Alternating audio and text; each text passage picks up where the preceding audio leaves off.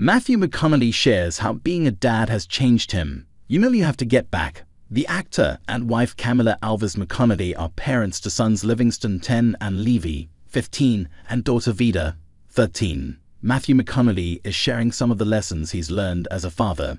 Speaking with Extra about dad life, the interstellar actor 53 opened up about how raising sons Livingston 10 and Levi 15 and daughter Vida 13 has given him a greater perspective. When you become a parent, your peripheral vision becomes better, whereas before you're a parent, you can have tunnel vision, he shares. You can take one-trick tickets to anywhere you want to go. No more one-trick tickets when you become a parent, he continues. It's round-trip tickets because you know you have to get back and you've got dependents. Related, Levi McConaughey reflects on his really cool community service experience cooking meals in Paris. When it comes to sharing lessons with his kids, McConaughey is hoping they learn. Responsibility breeds freedom. You take care of your stuff, chores, you take care of yourself, you will have more freedoms in the future, he explains. McConaughey and wife Camila Alves McConaughey recently gave their oldest a new freedom, a social media presence.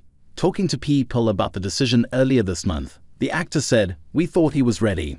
After two to three years of talking about the pitfalls and the upfalls and the downfalls, and in shadowing me on my IGs and his mother on hers, and picking out people that he looked up to and talking to them about it. We felt he's got enough information and is mature enough to tell his own story. The author also opened up about his recently released children's book, Just Because.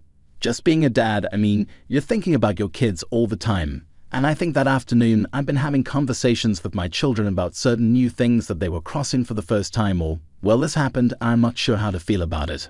And I wanted to do this, but I felt I needed to do this, and I was confused, he said of the book. Evidently, it was in my subconscious. Once I knocked all the couplets down the rhythm, it sort of wrote itself. For more People news, make sure to sign up for our newsletter. Read the original article on People.